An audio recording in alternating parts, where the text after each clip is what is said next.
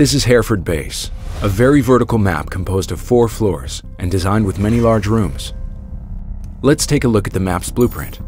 We can see the basement, the first floor, the second floor, and the third floor. Note the two important staircases. They allow for rotation possibilities throughout all floors. Let's begin our tour at the very top on the third floor. Starting from the main stairs, we see the attic located right in front of us. It's a big open area that we'll visit later. Going around the stairs, we go through a door to arrive on the balcony, which offers two entry points to the third floor. Now we'll go through a window and arrive back inside the tractor storage area. Note the door on the right, which leads back to the main stairs, which we first saw when we began the tour. Past the storage and on our left is the other staircase, the blue stairs. On our right, we can see the attic, which we also saw earlier.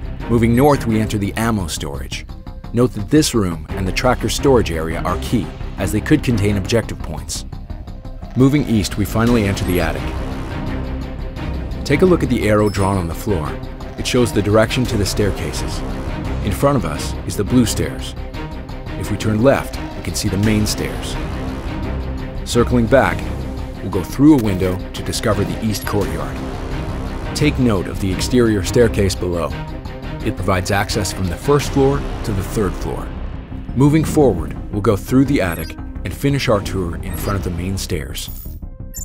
Now let's move downstairs and check out the second floor. Heading down the main stairs, we get to the main hallway and then into the laundry room. Going through a door, we land on the balcony. Going back inside through a window, we enter the loom room. To the right is the main hallway, which we saw earlier, and to the left, the loom closet, which has two breachable walls. One leads outside to the garage roof, and the other leads back to the blue hallway. You'll also want to notice the door located on the right in the hallway. It leads to the main stairs. Remember the white line with arrows on the floor? At either end of that line, you'll find the two staircases. Next to the blue stairs is the sewing room. We can breach through a wall to enter the kids' bedroom. We'll continue our tour through the bathroom, then take a quick look at the exterior staircase. That staircase leads to the east courtyard, which we saw earlier. We enter the master bedroom. It has a breachable wall that leads back to the kids' bedroom, which we saw a few seconds ago. These two rooms are the most important locations on this floor because they may contain objective points.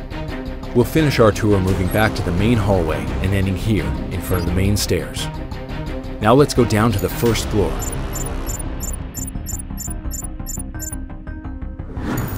Again, starting from the main stairs, we'll move into the kitchen entrance. Ahead of us is the main hallway. Let's go into the dining room. Note the window in the back of the room. That's often used by attackers who are coming in from the Spitfire courtyard. Now let's continue into the prep area. You'll want to keep an eye on those green doors when you're defending. Attackers could breach them to enter this room since it's an important connector linking the dining room and the kitchen. Now let's breach through this wall to enter the garage, which is another good entry point for attackers.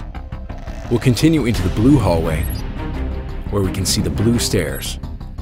Breaching through this wall, we enter the living room. Note the hatch on the left, which leads to an important objective site in the basement. Also note that the floor here is destructible, which can offer a good line of sight. That can be useful when the objective is located right below you. Continuing on into the main hallway, let's take a quick look at the foyer. The main entrance door is right in front of us. Circling back, we find the piano room which has a window that leads to right under the exterior staircase. Now let's go back into the dining room and finish our tour in front of the main stairs. Time to go down into the basement. Once again, we'll start from the main stairs. In front of us is a small hallway that leads to different rooms. Going to the left, we enter the fermentation chamber. Note that this room is important because it could contain numerous objective sites. Now let's continue into the generator room and go through a door to take a look at the west tunnel. Moving down the hallway, we see the blue stairs, and then we enter the brewery. Remember the hatch we saw in the living room on the first floor? That's right above us. Continuing on, we'll take a quick look at the main hallway, which leads back to the main stairs where we started our tour. Turning back, we can breach through the wall on our right to enter the barrel storage. We can breach through this wall and arrive outside. Moving to the right, we'll enter the East Tunnel, which is an exterior area used by attackers. Coming back inside, we enter the workshop, then finish our tour back at the main stairs. Hereford Base has three spawn points. The shooting range entrance is located to the north.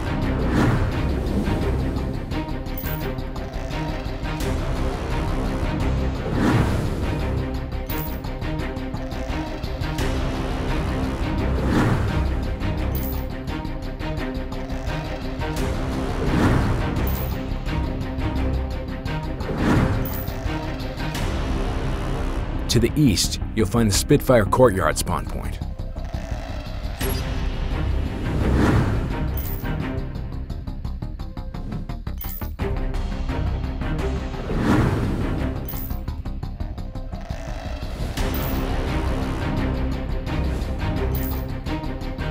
Finally, the control tower access point is located to the west.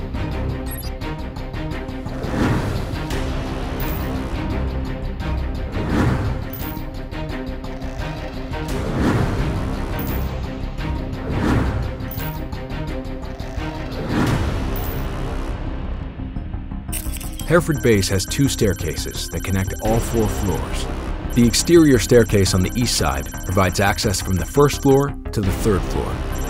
The basement is flanked by two tunnels, which are located to the east and west. And other than the first floor, every floor on this map has many large rooms. Lock and load, operatives. It's time to strike.